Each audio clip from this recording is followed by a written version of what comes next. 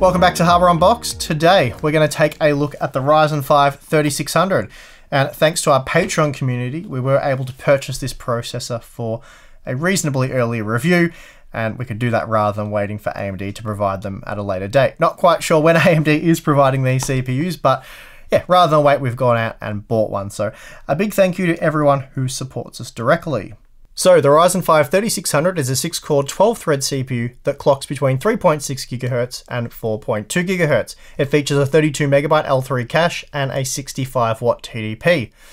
Included in the package is the Wraith Stealth cooler, and AMD has set the MSRP at just $200. So it's the same launch price as the R5 2600, which was $20 less than the original R5 1600. The primary competition for the R5 3600 comes from the Intel Core i5 9600, the non-K model, which costs $213 US. But since we don't have that part and it doesn't appear to be on sale, the more expensive 9600K will have to do. It costs $255 US and it doesn't include a box cooler. Therefore, in terms of pricing, Intel's already on the back foot, so it'll be interesting to see how they stack up when it comes to the benchmarks. Speaking of which, the MSI X570 creation was used for testing. I know it's an overkill motherboard, it's certainly not necessary. A B450 board will work just fine, but I want to use the same test setup that I did for the other Ryzen processors. So this means the Ryzen 5 3600 was tested on the same X570 board and it's been configured with the same DDR4 3200 CL14 memory. Oh, and I used the included box cooler for the review of this CPU as well. Then the 8th and 9th gen Intel Core processors were benchmarked on the Gigabyte Z390 Aorus Ultra using the same DDR4 3200CL14 memory, but they were cooled using the Corsair Hydro Series H115i RGB Platinum 280mm all-in-one liquid cooler. Please note the Intel CPUs are not TDP restricted, as that's not the out-of-the-box experience, so we're showing the absolute best case scenario for out-of-the-box performance with the Intel processors. But please note, I'll also be factoring in the cost of an aftermarket cooler for the Intel CPUs in the cost analysis at the end of this video, and it works out to be in AMD's favor to use the box cooler, as using an aftermarket solution really only boosts gaming performance by 1 to 2%. Please note I have removed the higher end, more expensive CPUs such as the 3900X, 9700K, 9900K, Threadripper 2920X, and Core i7 7900X as they aren't really relevant when looking at a $200 CPU, but you can cross-reference the results from our earlier 3rd gen Ryzen review if you like. Finally, the graphics card of choice is the MSI Trio GeForce RTX 2080 Ti. Okay, I think that covers everything. Let's get into the benchmark results. As usual, we'll start off with the Cinebench R20 multi-core test, and right away I'm pretty blown away by the 3600's performance here. It matched the Ryzen 7 1800X with just over 3,600 points. Yep, the 3600 scored roughly 3,600 points. Amazing, but let's move on. This made it 4% faster than the 8700K, almost 20% faster than the 2600X, and 28% faster than the model it's replacing, the 2600. Then, when compared to the R5 1600, the new 3600 is 45% faster. And that's pretty insane. In two years, AMD has increased performance at the $200 price point by almost 50%. The single core performance is equally impressive. Here the 3600 was just 4% slower than the 3700X, and that meant it was able to match the Core i5 9600K and just edge out the 8700K. Moving on to WinRAR, and here we see the R5 3600 looks very good, falling just short of the 8700K by a mere 4% margin. That made it 45% faster than the Core i7 7700K and Ryzen 7 2700X, so some pretty incredible gains here for the 3rd gen Ryzen part. Again, this time when testing with 7-zip, we see the 3600 beating the 2700X. The compression performance really is nothing short of amazing, and it meant the 3600 was 14% faster than the 8700K. It did fall behind the older 8-core Ryzen processors in the decompression test, but even so it was still 16% faster than the 8700K. For budding content creators, the R5 3600 will be a godsend. For just $200, it completed our 4K workload 4% faster than the 8700K, and while that's far from a significant margin, remember the 8700K is a 360 US dollar processor. Interestingly, the 3600 does come up short again against the 8700K in the latest version of the V-Ray benchmark. Here it was 6% slower, But again, given the difference in price, that's hardly a bad result for AMD. Still, when compared to the R5 2600, it was 17% faster and a whopping 32% faster than the R5 1600. Then moving along, once again, AMD's new 6-core CPU trailed the 8700K by a small margin in the Corona benchmark. So given the difference in price, this is still a very good result for the 3600. It did manage to pull ahead for the Blender test. Here it was just a single percent faster than the 8700K, so basically the same result, but that is still clearly a very good result for AMD's new $200 desktop processor. But perhaps more impressive are the total system power consumption figures we recorded when running the Blender benchmark. As you can see, the R5 3600 consumed the same amount of power as the quad-core Core i7 7700K, and only slightly more than the 9600K. Now, you might think consuming slightly more power than 9600K isn't that impressive, but remember, the 3600 was almost 40% faster than the Core i5 processor in this test, so in terms of power efficiency, it's extremely impressive. Okay, time for gaming, and first up we have Assassin's Creed Odyssey. And here the 3600 slightly edged out the 8700K's 1% low result, despite being a few frames slower on average. Still, you can very much call what we're seeing here 8700K light performance for the new Ryzen 5 3600, so again, that is a big win for AMD as far as I'm concerned. Like what we saw with the 3900X and 3700X review, the third gen Ryzen processors do slip a little in this title at 1440p, and this is also true for the R5 3600. Here it's 6% slower than the 8700K, not a massive margin, but normally you'd expect things to close up at 1440p. The Battlefield 5 results are again a little disappointing, though I have to remind myself the 3600 isn't competing with the 8700K. Its target is the 9600K, and here it improves 1% low performance by 23%.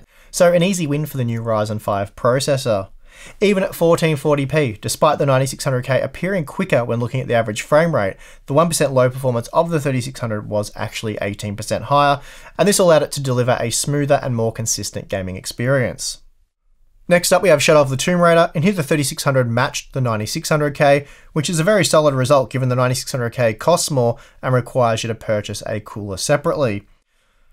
The 1440p results were much the same. The 9600K did creep ahead by a few frames, but overall performance was competitive, and the 1% low performance of the 3600 was a good bit faster than any of the second gen Ryzen parts.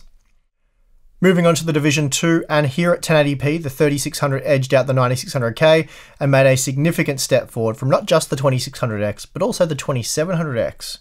Interestingly though, this time at 1440p, the 3600 was able to pull further ahead of the 9600K, namely when looking at the 1% low performance. In fact, the 3600 matched the 3700X, and that meant it was a good bit faster than the 2700X and 8700K. As we've come to expect from Ryzen, the performance in Far Cry New Dawn was a bit disappointing, at least relative to the competing Intel processors, and overall performance was still very good and the gameplay was incredibly smooth.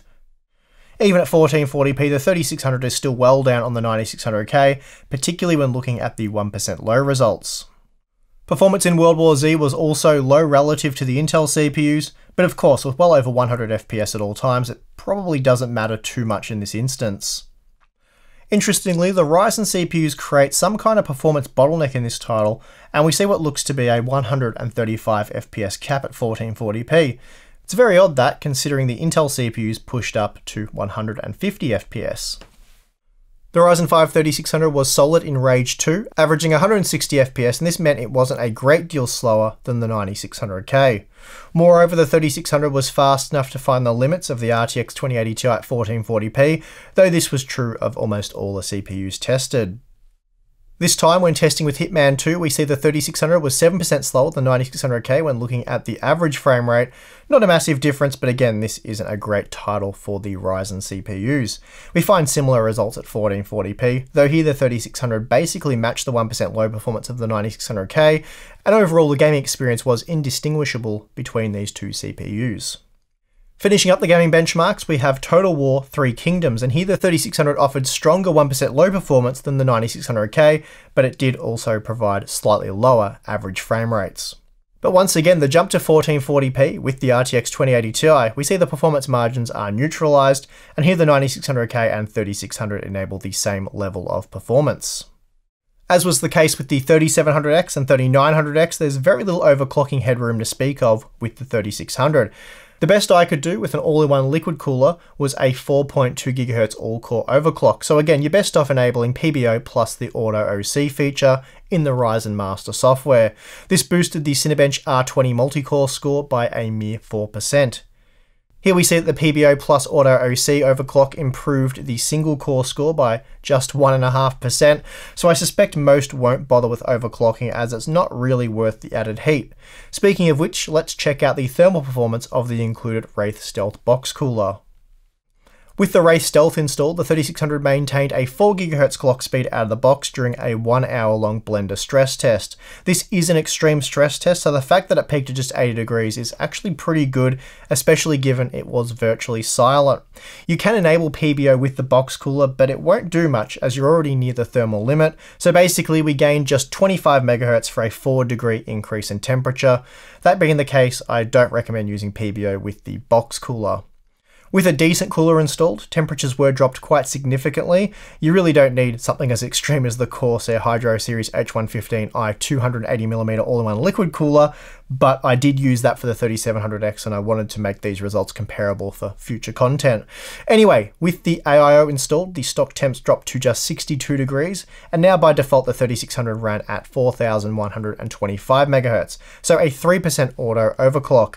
Then with PBO enabled, we got another 85 MHz, and this increased the load temp to 68 degrees, which is obviously still very cool. Okay, so now that we've seen how the new Ryzen 5 3600 performs in a range of applications and games, it's time to work out just how good it is in terms of value. So let's go do that right now.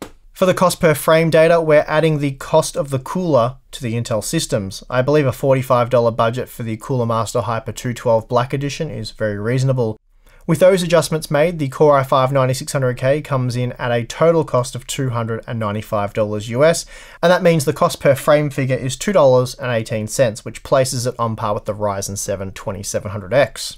The Ryzen 5 3600 comes out significantly more affordable at just $1.53 per frame, as it delivers a similar level of performance, but costs almost $100 less. This makes the 3600 better value than the 2600X at its current $195 asking price, though it is 18% more costly than the vanilla 2600. Even so, given the improvements in efficiency and the absolutely monstrous performance uplift in productivity workloads, I feel it's going to be easy for consumers to justify that small price premium. Well, there you have it. As predicted, the Ryzen 5 3600 offers a tremendous amount of value, and because it just sips power, it'll work on even the most basic B350 motherboard, providing it receives the necessary BIOS update. Alternatively, for new builders, you can grab my favorite B450 board, the MSI B450 Tomahawk, and you'll have a killer combo for a smidgen over $300 US. And that's that's basically what you'll pay for a 9600K with a mid-range cooler.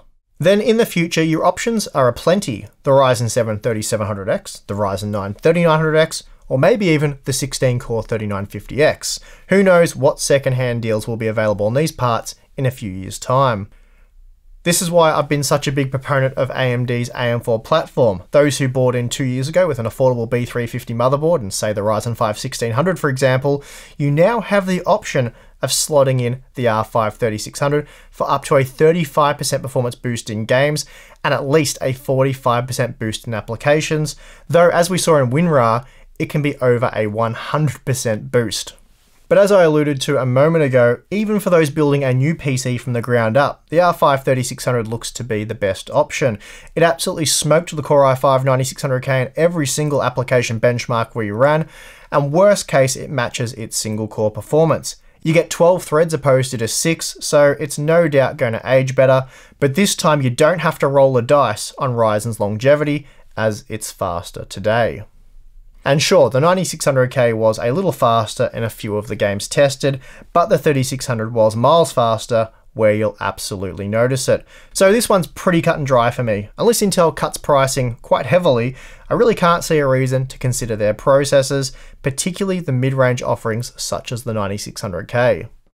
And that's going to do it for this one. Up next, I'll have some B350 motherboard testing to see just how well these third gen Ryzen processors work on entry level boards. I'll be throwing Probably this one, definitely the 3700X and 3900X at those boards. Obviously, if they work, this little guy will as well. But anyway, keep an eye out for that. It should be pretty good. And of course, if you enjoyed this video, feel free to hit the like button for us and you can subscribe for more content.